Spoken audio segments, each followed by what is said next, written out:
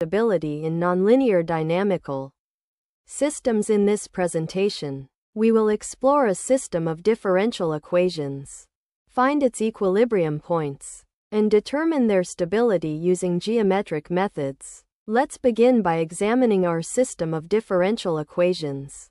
We have two equations that describe how the variables x and y change over time. The first equation is dx dt equals negative of x minus y times 1 minus x minus y. The second equation is dy dt equals x times 2 plus y.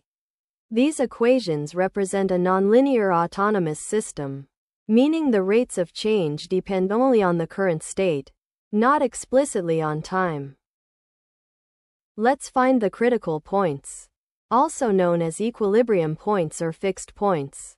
These are points in the phase plane where the system remains constant over time. Mathematically, we find them by setting both derivatives equal to zero simultaneously. To find critical points, we solve the system of algebraic equations obtained by setting dx dt equal to 0 and dy dt equal to 0. This gives us two equations negative of x minus y times 1 minus x minus y equals 0. And x times 2 plus y equals 0. We can solve this system by considering cases. From the second equation, x times 2 plus y equals 0. We have two possibilities. Either x equals 0, or 2 plus y equals 0, which means y equals negative 2. We'll examine both cases systematically. We have the equation negative of x plus 2 times 3 minus x equals 0. Which means x plus 2 times 3 minus x equals 0. This gives us two solutions. x equals negative 2 or x equals 3. Therefore, we have two more critical points.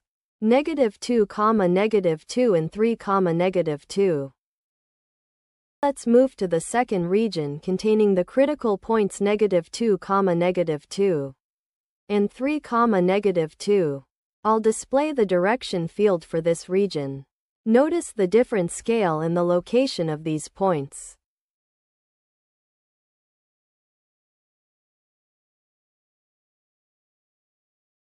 In this region, we see two very different patterns.